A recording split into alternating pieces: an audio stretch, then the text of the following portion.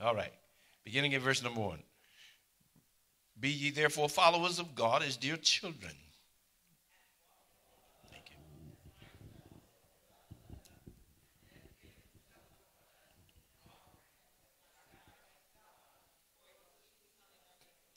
But fornication and all uncleanness or covetousness, let it not be once named among you as becometh saints.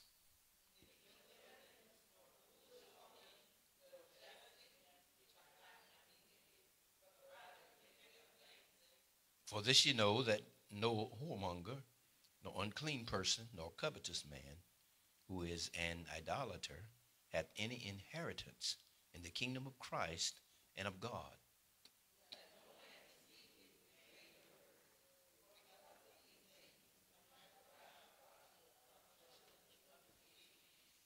Be not ye therefore partakers with them.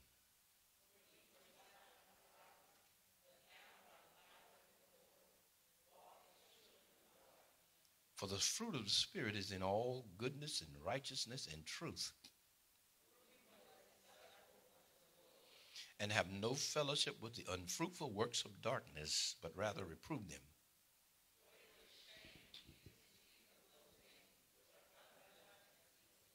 But all things that are reproved are made manifest by the light. For whatsoever doth make manifest is light.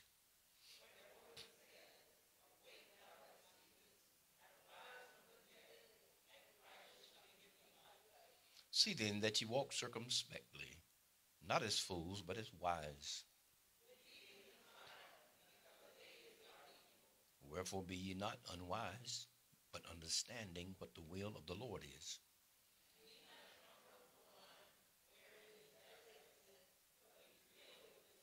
Speaking to yourselves in psalms and hymns and spiritual songs, singing and making melody in your heart to the Lord.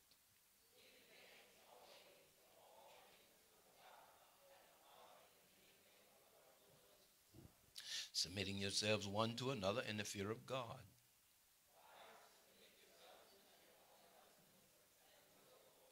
For the husband is the head of the wife, even as Christ is the head of the church, and he is the Savior of the body.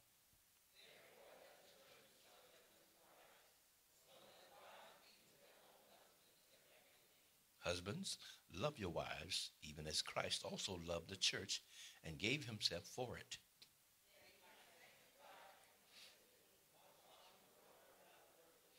That he might present it to himself a glorious church, not having spot or wrinkle or any such thing, but that it should be holy and without blemish.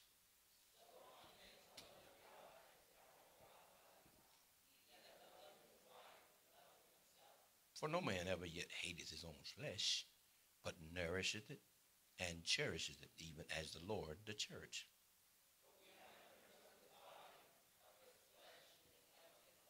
For this cause shall a man leave his father and mother and shall be joined to his wife, and they two shall be one flesh.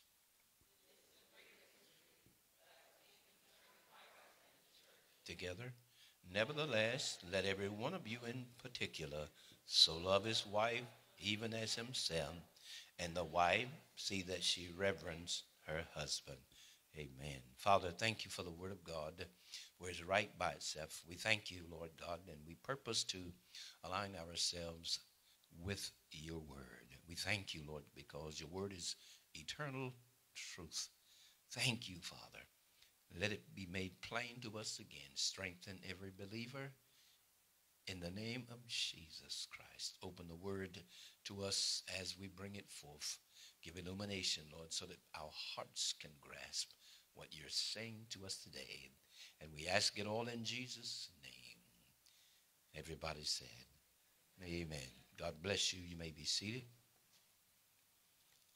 Praise the Lord. On last Sunday, we talked, uh, began to talk a bit about Ephesians, uh, this epistle, and uh, which is the epistle that written by Paul to the church.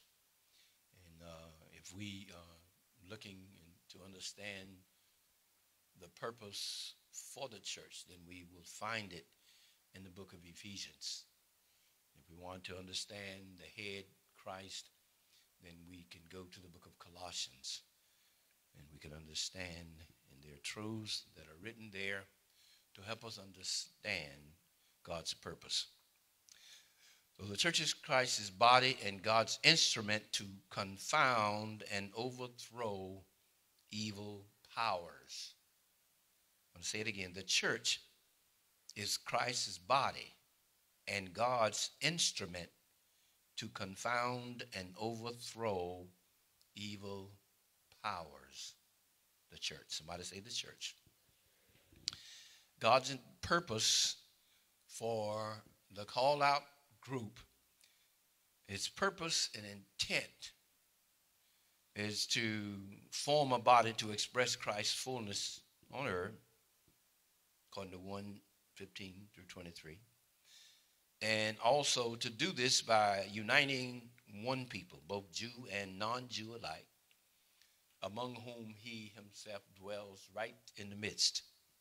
And the third part is intended to equip, empower, and mature this people, the church, to extend Christ's victory over evil.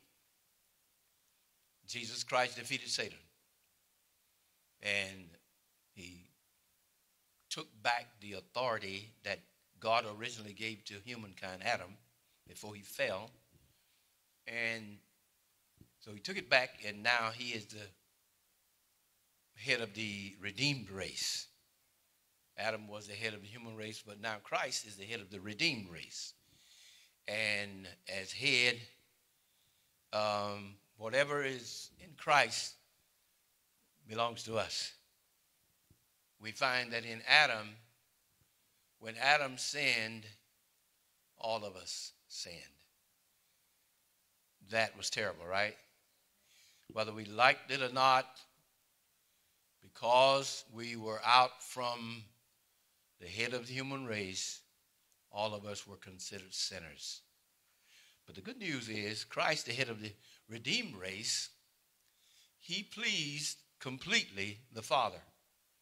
And since he pleased completely the Father, we are in him. So God is pleased with his redeemed race. So, uh, because of Christ, not because of us, but because of Jesus Christ, God is pleased with us. So we stay united with Him. And every blessing that God intends for us down here on earth will come. We stay united with Him, right? All uh, one of the, the key words, two words in the book of Ephesians marks the theme of this book is in Christ or in Him. So everything, all the blessings are resident in Him because of what He has done. And Ephesians unfolds the process by which God is bringing the church to His destined purpose in Christ. This book unfolds the process, Ephesians. So step by step, it talks about the process, threefold process. Um, verse, there's the the stand, our stand, and he talks about uh, who we are and you know what God has done through redemption. Then it talks about his walk. That's the second aspect of um, um, this process. One understanding who we are, and our stand, our position in God is very important before we can walk effectively and successfully. If I don't really know who I am, then I don't know what I got going for me, right? So I'm uh, so I'm bringing back now the importance of. Uh, I'll briefly talk about the stand. We talked a little about it last week. This week I will reiterate it a little bit, but again I say uh, um, the uh, Ephesians unfolds the process by which God is bringing the church into his destined purpose in Christ. Christ defeated Satan, he is still defeated, but he's not locked up, he's still roaming the earth. And all of these demons that were part of his original kingdom are there to do his work, but we are to play the role, his body, in finishing through him the work and further overthrowing the evil powers that still lurk in Rome to hinder God's people, all right? So there's a process in doing that. We said first, we must know who we are. We must know what God has done for us. And then, after we understand to a large degree what Christ has done for us, who we are, our position as sons of God, as the redeemed, then it's time to learn how to walk consistent with who we really are. You with me? That's what this book teaches. And then finally, the third is engaging in spiritual warfare and winning through Christ. So um, I remember uh, my wife sharing how um, God told her, Don't go uh, where I haven't prepared you. So he was saying, don't try to delve into warfare if I haven't prepared you. If you don't have the knowledge and understanding, then in the preparation, then you cannot go into certain areas in warfare. So now, as I said, he's got it all lined up. So as we read it and study it, we can begin to see uh, God's purposes here. So uh, as he's defeated Satan, he wants him to remain defeated in our individual and collective lives. Make sense? That's what he wants uh, from you and I. Uh, sometimes when we look at Satan, we feel like he is so strong and so bad and, and all of these things, so we give him more credit than we should be giving him. But after we understand what God has done for us and where we sit in the position of authority, it changes our perception and perspective as Christians. So, what are you saying, Brother Herring? We got to go into it now. and We'll talk a bit more about chosen. But this whole book, six chapters, is divided into two parts. There's the position, our position, which is the first three chapters, and the other three chapters deal with the practice. Every time God gives doctrine, he gives practice. He does not give us doctrine and then there's no um, expectation, there's no responsibilities, there's no privileges without responsibility. Everybody with me? I want you to look at your neighbor and say, kindly wake up a little bit. Do we need to stand up and stretch a little bit or something?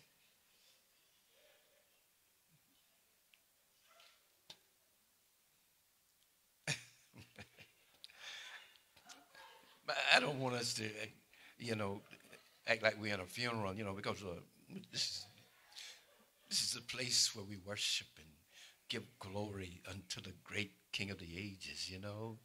And he's a good God. Kayla, it's so good to have you back. Amen. Praise the Lord. Amen. You're looking well, you're looking healthy. Basic training has done you well. Come on, give God a hand for Kayla. God is good. We thank Him. He's so good to us. And um, uh, with saints, we can't wait until everything looked victorious, right? We, we, we got to learn to do that before it happens, right?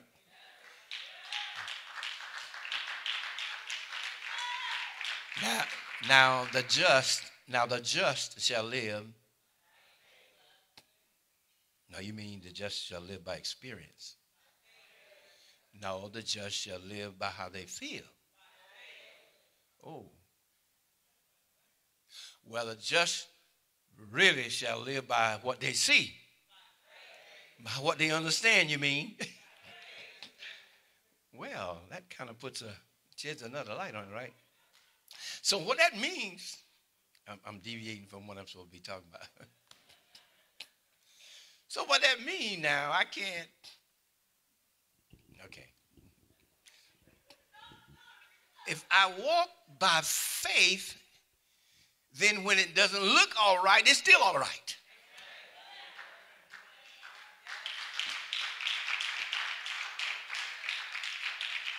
And since it's still all right, as I give him praise, I'm saying, I believe you.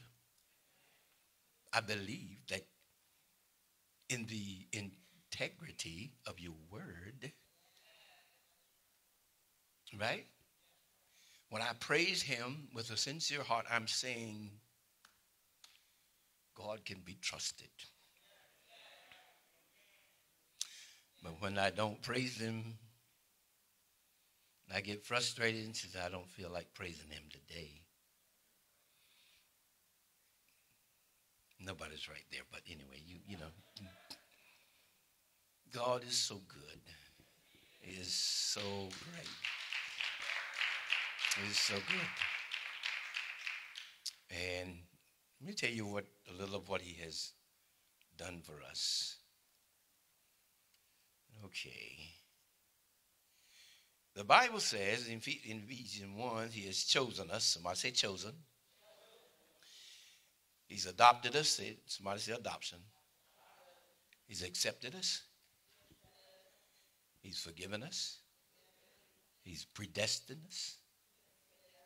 He's sealed us.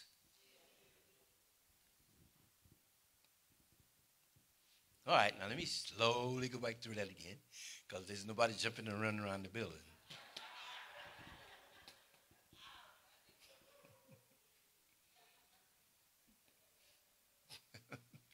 the Bible says he has chosen us.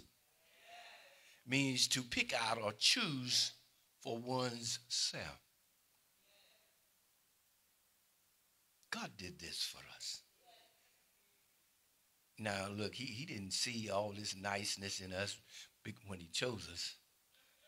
He chose us. It was, the Bible says it was by his grace. It was by what was in him that prompted him to choose us. So everything was done because he is so full of mercy and grace. So he looks at a fallen creation. He sees the struggle that they will that will be endless unless God does something to help. And out of the beauty of his grace, he chooses us.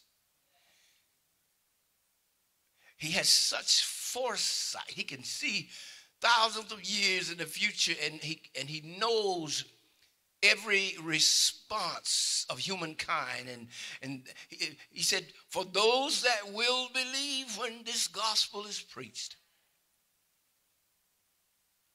I'm predetermining, marking out their future. So your future is marked out by God. All you have to do is keep in step with what he's saying to you and live by the book, right? Live by the golden rule. Unto others as you would have them do unto you. Every spiritual blessing the Bible says He has given, we uh, have received every spiritual blessing in heavenly places in Christ. So, the truth about you is this, and the truth about me, that we are so blessed. We are so. So now, before I will commit to living for God with my whole heart. It is very important that I understand what God has done for me out of the abundance of his wonderful grace and kindness. There was nothing good in me, nothing good in you. It was out of him that this happened. Isn't that right? So the response is I must be grateful. I must express gratitude for what this grace has done for you and I. Can you just give him some praise? He is worthy. He is a worthy. So that's why the Bible talks about wisdom is the principal thing. It is just plain wisdom to be grateful when somebody does you this kind of favor, right? So as I live it, as you live each day, I respond with gratitude. That's why we can get up in the morning and says, God, I thank you for this day. I've never seen this day before, but my eyes are open. I have cognizance, I, I, awareness.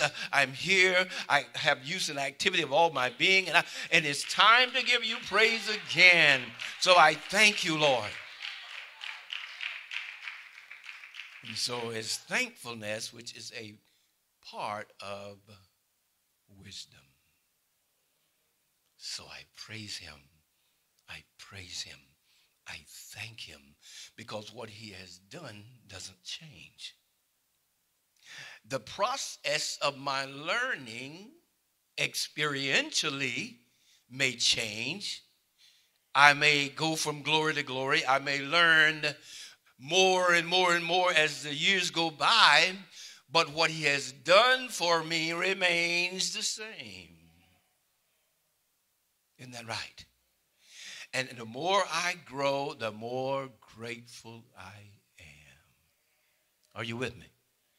Now, if by chance, 10 years ago, I'm still struggling with gratitude, that means my growth is very small. But if I have learned to be grateful to God when things don't feel right, don't look right, don't seem like right, I cannot understand it with my finite mind, then I'm learning, I have grown a little bit more to understand that Jesus Christ is the same yesterday and today and forever. He said, I am the Lord and I change not. He has redeemed us. Somebody said, redeemed us. Hallelujah. So the fact that he's redeemed me, hallelujah.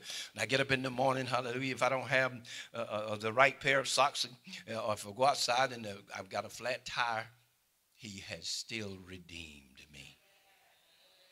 So he is still deserving of praise. Y'all getting the picture? So we do not base our praise upon when he's doing something for us present or some just answered prayer. That, that, that's not wisdom, that's not understanding. For God is always good. He saved me. He redeemed me. And that's why many times our blessings are held up so long because he would rather that we learn than to keep going around the circle of Israel. Isn't that right? So he keeps trying to get us to praise or whatever, this kind of thing. And I thank God for those of you that have learned that lesson. And you can say, ditto, amen. I know what you're talking about, Pastor. But there may be some that don't really understand this today. For the life of me, I don't know why he keeps asking me to praise him when, when all of the things that's happening to me, it doesn't make sense. Is he crazy? I, I don't understand it. Does he care about me where I am? Somebody says, the just shall live by faith. Faith. Faith. I'm talking to somebody right now. It's what the Lord is saying. You got to get out of the natural. Isn't that right? I got a list of things I'm just anxious to share, but the Holy Ghost is saying what he wants to say. Hallelujah. As many as are. That's why that meant something to me this morning because I feel like he must have been talking to me. God is good. He's so good. Oh my God. It was so hard trying to learn to praise God because I couldn't seem to separate faith from feeling. But once I learned, praise was easy. Once I learned that, praise was easy. So the devil's on your track. So what? He's on everybody's track.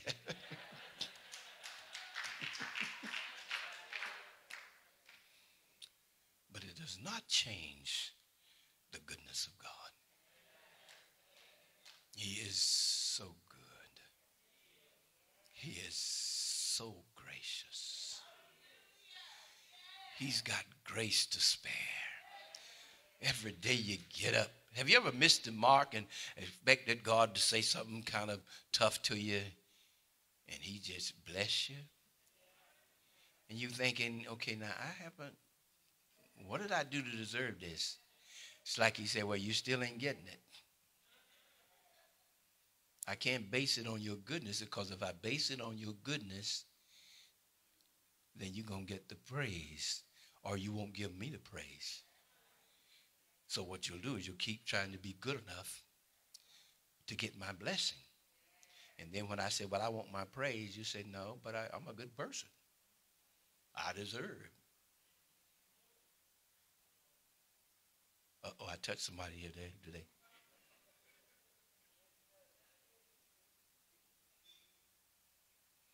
I remember fasting fasting.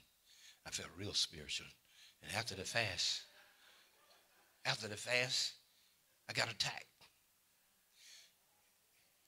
And my confidence went. Psh. So he was trying to show me it's good to fast, but it's not based on that. It's good to pray, but it's not based on that. It's based on your faith and your trust in me. So, can praise him right now. Can't you? Can't you praise him right now? Hallelujah. He is so worthy. Glory. Glory. Hallelujah. Hallelujah. Oh, hallelujah. Glory to God. Ah, yes, Lord. Hallelujah. Glory to God. Thank you, Lord. You know what's so so so powerful is when you start praising God, your atmosphere change.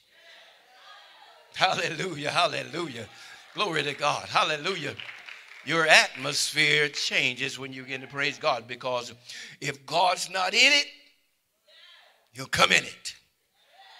Wherever true praise belongs or come, God belongs there. Isn't that right? The Bible says He comes to live in praise. Well, let me see how He said God inhabits. That means to live, to dwell. Come to live in your praise. Oh, somebody need to praise God. Hallelujah. Glory to God. Mm, mm, mm. Hallelujah. Bible says to Israel concerning Israel, and when they began to thank and praise the Lord, God sent an ambushment. Angels came and dealt with their enemies. Hallelujah, hallelujah. Somebody need God to deal with their enemies, but they, they, they hadn't yet learned to praise God. They, they still fussing. They still fussing. You can't bring that glory by fussing, isn't it right? okay, I'm, I'm, talking to somebody here, but uh, I'll try to go easy here. But uh, praise will change your atmosphere. Remember, we're chosen. We're blessed. You're already blessed. You don't need nothing to change for you to be blessed. you are just as blessed as you need to be right now. Hallelujah, hallelujah. Because the Bible says in Galatians 2 9, they that be of 3 9, they that be of faith are blessed, fortunate, prosperous, well off. That's what that word means. See, now you've been walking around with your head hanging down. But you don't have to no more. You've been chosen of God. Hallelujah. Like you remember how he chose David out of all of his brothers? It's the same concept. God looked at you and he chose you. He said, I want that one. I want that one. He knew before the foundation of the world that you would respond to the good news of God. And he destined your future. Your future is carved out. You just got to walk in obedience now and walk in faith. Isn't that right? Now, let, us do this. Let, let's let all the worries and the concerns just fall off now because it's all useless. It's all useless. God says, not by might, not by power, but by my spirit, saith the Lord. Hallelujah. He that has begun a good work in you will perform it, complete it, finish it, continue doing it till the day of Jesus Christ. You still can praise the Lord. He is worthy to be praised. We've, we've been accepted means we were graced with grace. We were forgiven by the blood of Christ. Predestined. And we talked about sealed, which was a document indicating that or indicated that a document was genuine and are authentic. And then the seal was a seal of ownership. The devil says, You're not this, but God has sealed us with His Holy Spirit. And He knows your name. The Bible says God knows them that are his. Hallelujah. Glory to God. He's that good shepherd, and all of his sheep are branded with the seal of the Holy Spirit.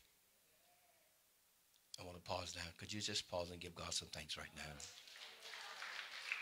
Hallelujah. Hallelujah. Hallelujah, Jesus. Sealed sealed by God's Spirit. Now, uh, can I can I say this to you? It, it's, it's, I just sense feel like saying it. All this happened by your human effort, didn't it? Oh, it didn't. God did it, didn't he?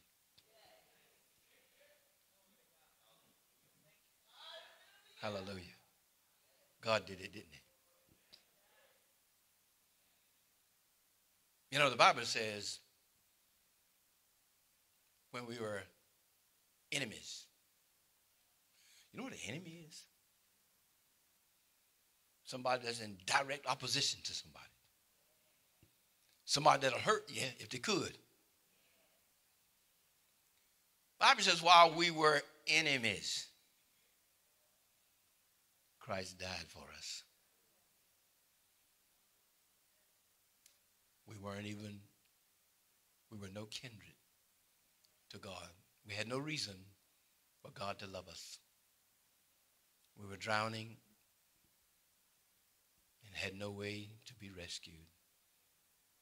But Jesus reached out his mighty hands. He saved us. We were headed for devil's hell, headed for flames, and he saved us. He saved us.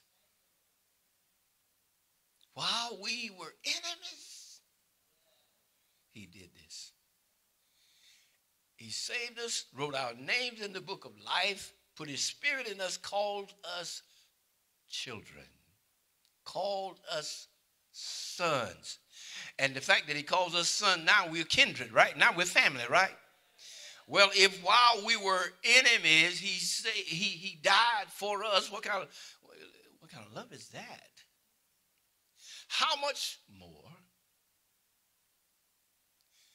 will he get us where we need to go if we're no longer enemies but family?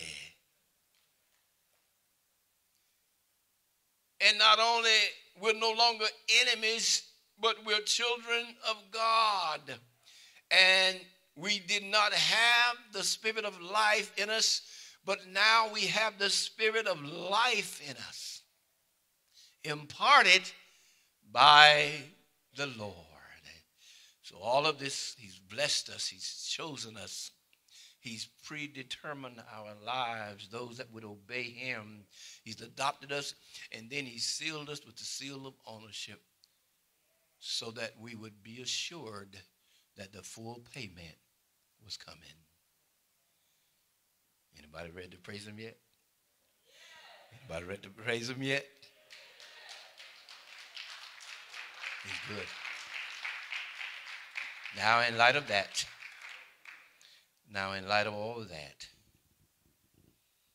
light of all that, look at somebody it's time to walk. The walk.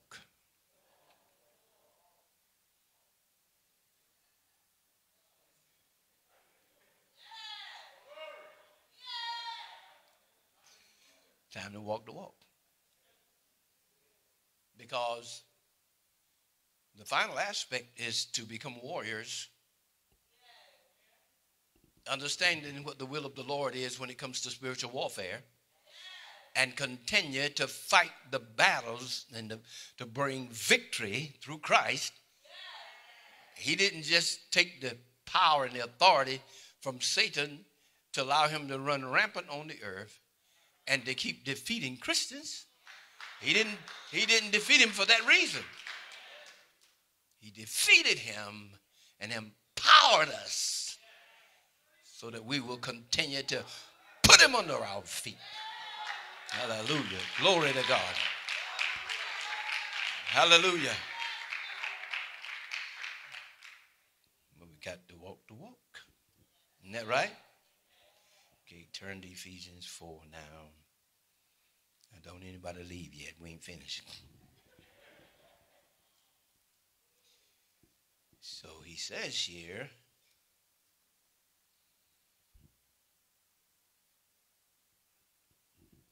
the believer is to first accept, understanding what he's done for us, the disciplines. We must first accept the disciplines before we can engage in warfare like we should, right? And become warriors. Must first accept the disciplines of unity. Somebody say unity. Purity and forgiveness. All right, now that's what he's talking about in chapter 4, okay? Verse 16 verses talks about unity. All right, now I'll just I'll just read a few verses. I'm just see something right fast. Verse 1, chapter 4. Therefore, the prisoner of the Lord, beseech you that you walk worthy of the vocation wherewith you're called, with all lowliness and meekness, with long suffering, forbearing one another in love endeavoring to keep the unity of the Spirit. Endeavoring to do what? Of the Spirit in the bond of peace. Now, okay. Look at verse 10. He that descended is the same also that ascended up far above all heavens that he might fill all things. And he gave some apostles and some prophets and some evangelists and some pastors and teachers for what? For the perfecting of the saints, for the work of the ministry, for the edifying of the body of Christ, till, till we all come what? In the unity of the faith. All right, are you with me? And of the knowledge of the Son of God to a perfect man or mature man. Somebody say mature. To the marriage of the stature of the fullness of Christ. All right, now so he goes on that we henceforth be no more babies, infants, children, tossed to and fro, right? Cared about with every wind of doctrine by the sleight of men and cunning craftiness, whereby they lie in wait to deceive, but speaking the truth in love may grow up into him in all things. Okay, so there's discipline in our speech, right? There's maturity in our knowledge and understanding, right? Then look at verse 16. From whom the whole body fitly joined together and compacted by that which every joint supplieth. All right. Ponder this. Bricks and stones, when they're laid, do you see that white in the middle of the bricks? Okay. That holds them together, right? Now, without that, they can be together, but you could just take anything and just knock it right. It'll crumble uh, because there's nothing to hold them, right? All right.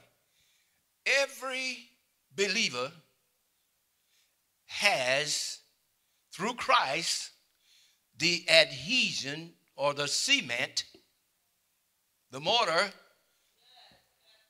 to connect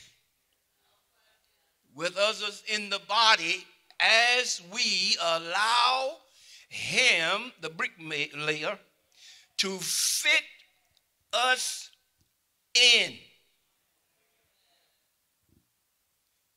Now, the bricklayer did that, right? Or layers, several. They did that. If they had not done that, the bricks would be in a stack of maybe a thousand bricks on the sideline, right? It took the bricklayer to put them in position next to another. God has designed his body in the same way. We must allow the Spirit of God to fit us in so that there be no schism or divisions in the body. If I've got schism and division in my soul, I'm not going to allow him to fit me in. I can have gifts and I can have a lot of knowledge, but if I don't have the wisdom and the humility and the ability to submit to God, then I remain a wandering brick. Never entering into the divine purposes of God. You know, there are people in been saved for many, many years. Can't tell them nothing. They know everything. But listen to this. This is what the Lord said to me. Now, I'm going to go back to verse 11, 411. And he gave some apostles and some prophets and some evangelists and pastors and teachers for what? For the perfecting of the saints, for the work of the ministry, for the building up of the body of Christ, till we all come in the unity of the faith. God said to me while I was looking at that, He said, uh, uh, uh if believers don't accept and cooperate with his leadership, spiritual leadership, they can never come to the unity that he has in mind, nor the maturity, nor, he said, properly, nor will, are will they be properly fitted in the body of Christ. That's what he said. He said so that's why God has designed leadership. So I say leadership.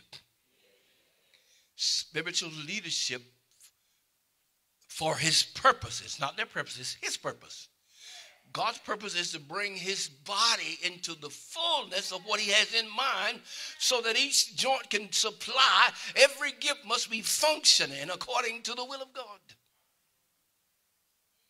That's when it's a healthy body.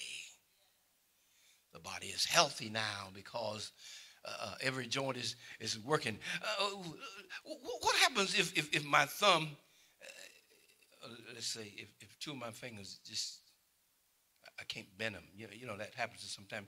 And, and so, well, let's say three of them. I got a little arthritis in my fingers, and so, and on both hands, I try to button up my shirt. I can't do it because there's arthritis in my fingers. The fingers need wholeness the arthritis needs to get out of the fingers so I can flex them again, right? What if, what if, what if my hand is withered? What if my leg is withered? All these are part of my body, right? Am I happy without? Can I just enjoy my life without or with a withered hand or feet? Oh, I can't. So we must provide care for one another. Isn't that right? Because if everybody is, if people are truly a part of the body, now listen, watch this now. If people are truly a part of the body of Christ, when they hurt and I ignore it, I'm hurting myself.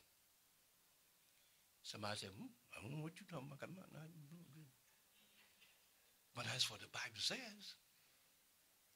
We're part of the same body. Isn't that right? So what happens is down the road, I find out how I hurt myself. I may look good, may feel like everything's going well. Oh, he need to, she need to get it together.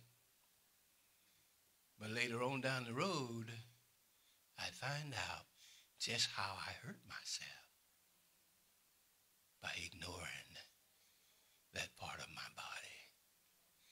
I hope you get what I'm saying today but by love serve one another. Isn't that right? But he said this, he said, if believers don't accept and cooperate with spiritual leadership, he said they can never come to unity nor maturity nor properly be fitted in the body of Christ. Somebody says, I can't. I don't need a pastor. I heard one, one brother say, this was funny. He said a man told him, I don't need a pastor. It's true. But if God has designed it that way, you're doing yourself a disservice. You're trying to circumvent the wisdom of God. Are you hearing what I'm saying? And the struggles get worse. And the struggles get worse. One bad apple don't spoil the whole bunch. Isn't that right? Somebody may have had a bad experience with a pastor, but you can't lump all the pastors into the same category and say all pastors are bad. Isn't that right? It was God that designed pastors. Okay, Larry, what, what are you doing on this subject here? It was God that designed pastors.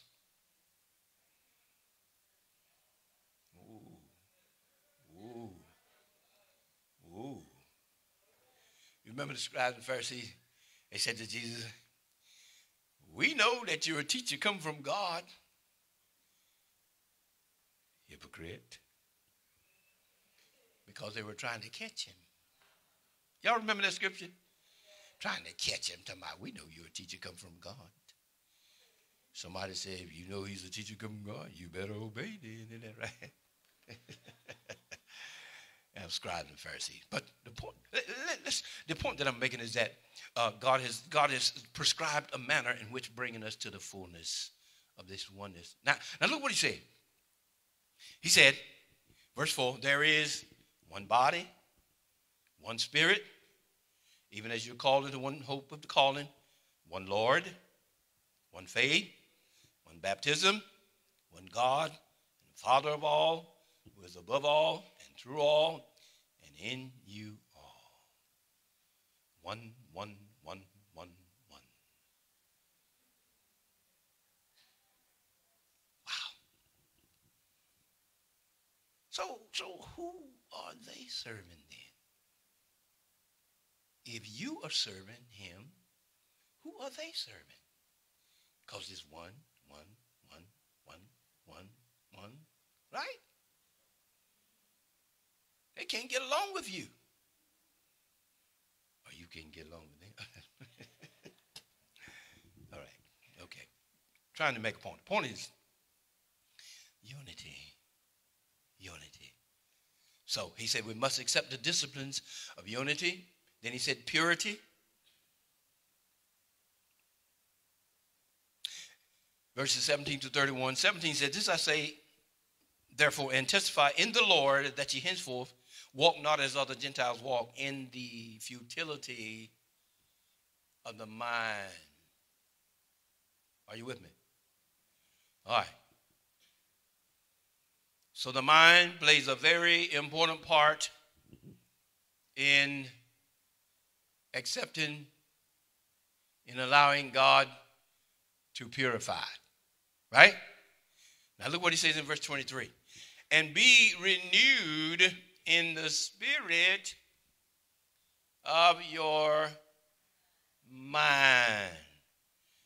I beseech you, therefore, Romans 12, 2, by the mercies of God, that you present your bodies as a living sacrifice, holy, acceptable to God, which is your reasonable service, and be not conformed to this world, but be transformed by renewing of the mind. Okay, bottom line, simply, simply put, what the Lord is saying is that there is the, the old man, there's a new man. The old man uh, has his own education through the trials and the things that we've been taught according to this flesh, but then the new man needs to be educated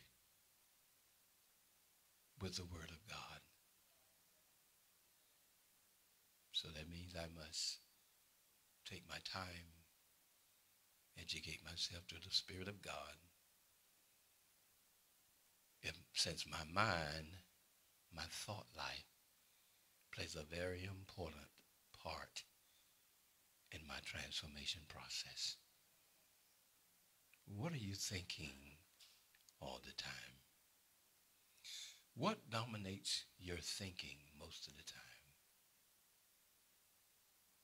Is it thoughts of God? The Bible says he will keep thee in perfect peace, whose mind is stayed on thee. The mind. So purity, re-educate ourselves, renewed. So mental preparation is very important if we're going to allow God to purify us, right? According to the word. Okay. Then he talks about forgiveness. And then he goes and talks about walking in the fullness of the Holy Spirit, chapter 5, which we read today. He says three things walk in love, walk in light, and walk in wisdom. Walk in love, first seven verses of chapter 5. We find that he says,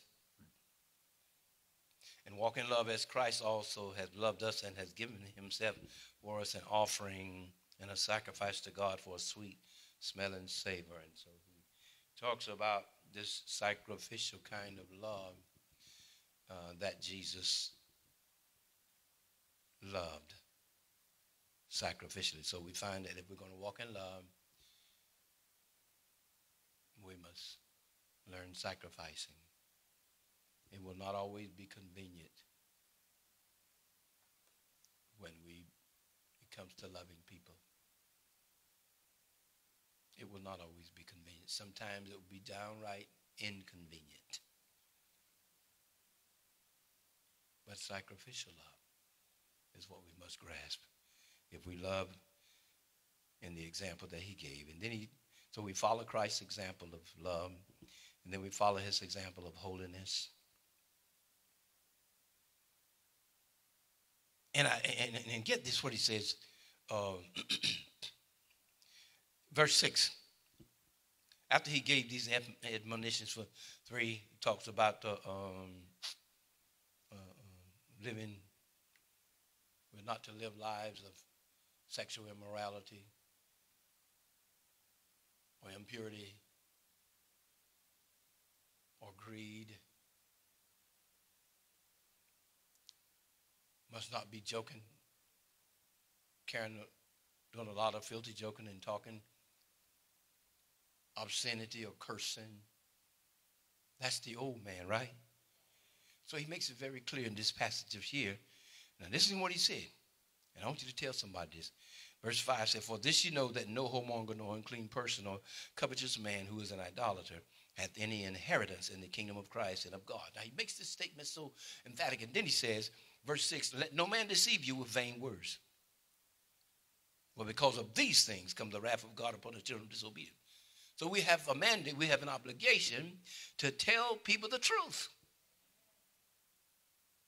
And so that they can understand in other words, when he said, let no man deceive you, God, listen, God's standards cannot be replaced by permissive teaching. Those who teach otherwise are deceivers. So a lot of people talk about, well, you ain't got to worry about nothing, da, da, da, da, da, da, you know, and they want you to live any kind of way, but that's not according to the word of God. Jesus said, when he said, Go into all the world and preach the gospel to every creature, he said, teaching them whatsoever I've taught you, right? So we cannot just dismiss uh, immorality and, and, and, and, and things that people are doing that they shouldn't be doing. They, they need to understand that these things are not acceptable to God as a Christian. So, what is partially wrong with the world today is that the church won't be the church. This is a real major problem today. So if the church won't be the church, it cannot function with the power and the authority that they were supposed to. Isn't that right? Not only are we to walk in love, but we're to walk in light. Truth, righteousness, and goodness. He said this fruit of the Spirit. So that means we must allow the Holy Spirit through us to bear fruit, right? Because the fruit of the Spirit is all these uh, love, joy, and peace and long suffering. Isn't that right? So we must uh, keep in step with the Spirit of God. So now He tells us how to do it, but the fruit of the Spirit the fruit that comes from the Spirit is in all goodness. So to bear fruit, there has to be a union, a consistent union, right? So if I'm in in it today and out of it tomorrow, I can't bear the fruit. It's got to be a consistency in my relationship with God, right? And when there's a consistency, and when I begin to educate myself, the roots begin to grow and grow deeper and deeper in the soil of our hearts. And God, and then we begin to bear fruit because that of the Spirit of God in us.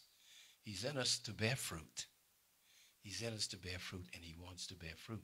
But the fruit that the Spirit, well, I, I can't do, I can't bear uh, what you say, envy, strife, and call that the Lord, right? Or call that the Holy Spirit.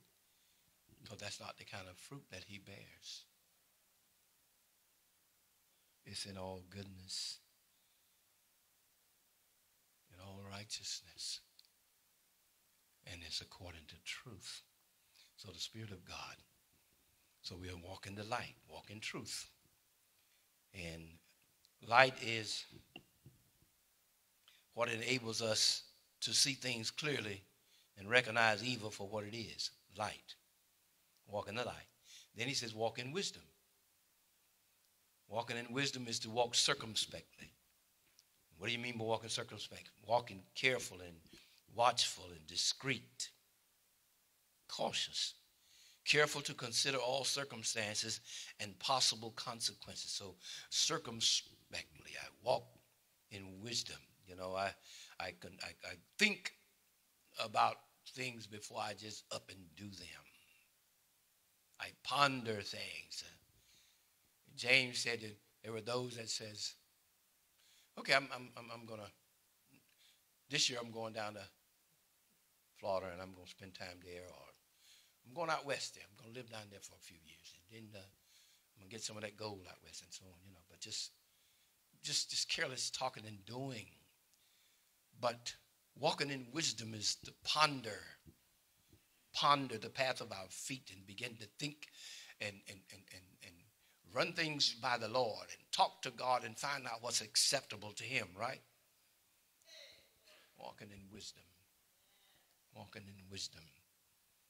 Careful and to consider all circumstances and possibilities. Things are on my trail. If the enemy's on my trail, then I pause and I want to find out where the opening is. Carefulness and considerate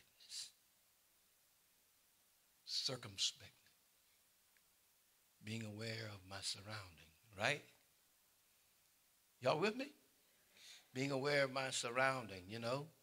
One of the things that I like about the, the men that have armor bearers, they send them to check out the surrounding. They don't just, the pastors and ministers don't just plunge into those things, especially when the churches grow and get larger. Satan has traps for, for the ministers, but and you know that same uh, uh, concept is there with the president of the United States. He's, you know, he uh, there's a, there's a watchfulness, and there are those the bodyguards and those people there, and and uh, I, I, know I ain't asking I'm bear to do that, but the the the uh, these men that were around the president are they're actually supposed to catch a bullet before they allow the president to get shot. But the point that I'm making is that we walk in watchfulness, circumspectly, being aware of our surroundings. Right? That's what he said. Walking in wisdom. Okay. And then then he mentions here, and I'm going to conclude with this relationships must be in order. Are y'all with me? Wives, he said, we must submit to our husbands as unto the Lord.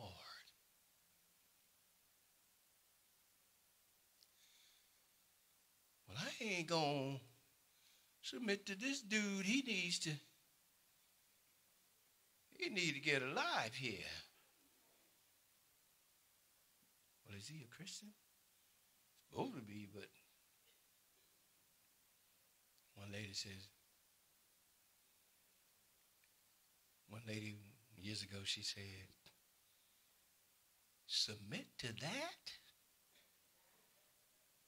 She said, God, you're going to have to do something here. So she went on a fast. She went on a fast and she fasted and prayed to God, fixed that.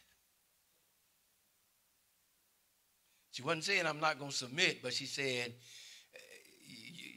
something's got to happen here. Something's got to happen in me.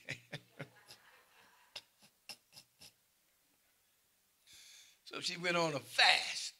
Ladies, don't don't don't, don't leave yet. I'm, I'm not finished. I, I got to say about the men.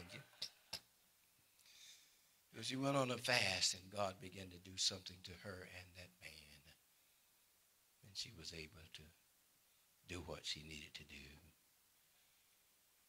So her submission signals her acceptance of God's institutional order in the family and the church. Husbands are to love their wives as Christ loved the church. I can't stand her.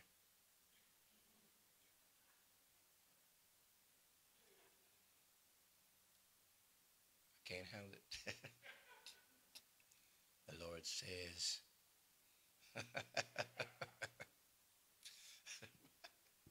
the Lord says,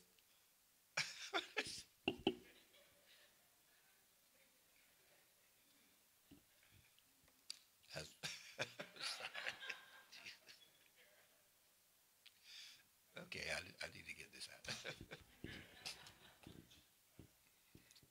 he said, husband, love your wives. love sacrifice itself for the one it loves. He can love her sacrificially despite her imperfections, just as Christ did the church. He's to treat her with the same care that he would his own body. It must work together toward a complementary relationship characterized by love and respect, according to the African Bible commentary. So as I was reading this, it was like it was like God, this is a bit more serious than I think we take this thing. As he was sharing, he says, people want to see how Christ loved the church. They want to see the model, how Christ loves his church, and is his church supposed to submit and respond to God. This is what he wants to bring the marriages into. And so that's why he labors to have the husbands to love their wives, the wives see that they reverence their husbands. This is not altogether easy, brothers and sisters, but with the intent of obeying God,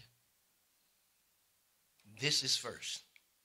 There must be a full intent to please God in everything that is right in the sight of God. So that means He works on us until the Holy Spirit can bear the fruit that He intends for our lives to bear. Remember, the fruit is by the Spirit, not by us, right? So we draw near to God, and He'll draw near to us. The more we draw near to God, and God begin to heal and to set free and to deliver us by His divine power. So uh, I believe this is the crux. This has got kind of long today, but um, um, I wanted to emphasize the fact that we were chosen, and now the believer's walk is the important thing. Now, if I attempt to do a lot of warfare and I have not submitted to God, then it's going to cause some problems because the devil is a legalist. He's ready to point out every failure, every sin or disobedience. That's what he is. He's always accusing God's people before the Lord. For the Bible says he's the accuser of the brethren. So we purpose that we're going to live this Christian life. We're going to allow God to perfect our walk, and then He's going to move us into that warfare. Wow. We must, in conclusion,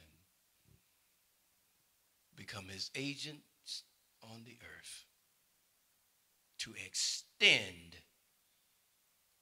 the power of God and continually defeat Satan and all of his wicked attempts. Hallelujah. Hallelujah. Hallelujah. God has purpose for his church. And I want you to know that God has purpose for your lives individually and collectively. And he's committed to helping us get there. He's committed. So if you will bow your heads with me. Father, in Jesus' name, I thank you and I give your name the glory. I give your name the honor. I thank you for the body of Christ. Thank you for choosing us.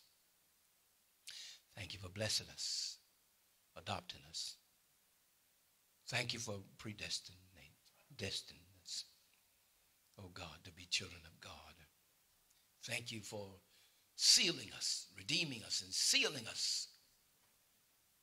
Thank you for these things. These were things that we could not do in our own selves. Thank you, Father. Now you will help us by your Holy Spirit to walk the walk in accord with your wisdom and your power and your love. I thank you. I give you praise. We can trust in your wisdom. We can trust in your Holy Spirit, who is the agent to help us come to the fullness of what God has in mind. It is God the Father planned. It is God the Son redeemed. It is God the Holy Spirit um, that will empower our lives and purify our lives and bring us to the place of maturity by his divine power. And now we thank you ask that you would minister the love, the grace, and the healing to our lives that we need. We thank you now. Everyone, please stand. We thank you. Give your name the glory your name the honor. We've been chosen, but chosen with a divine purpose in mind to extend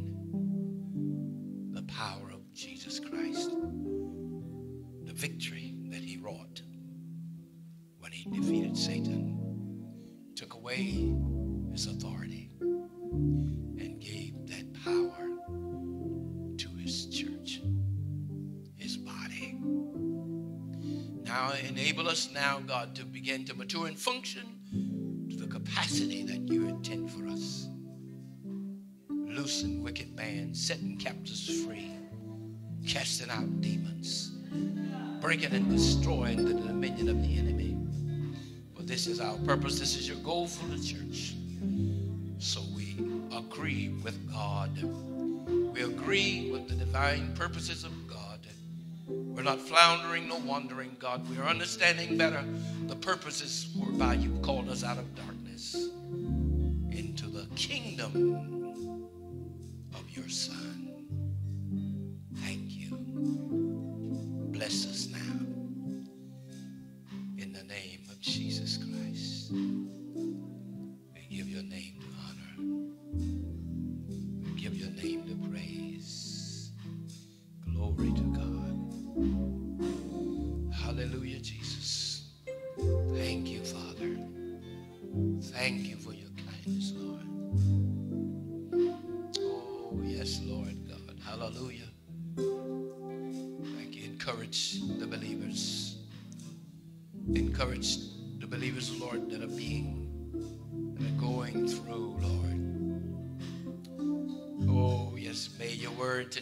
Strengthen and set a sense of direction, sense of purpose to our lives.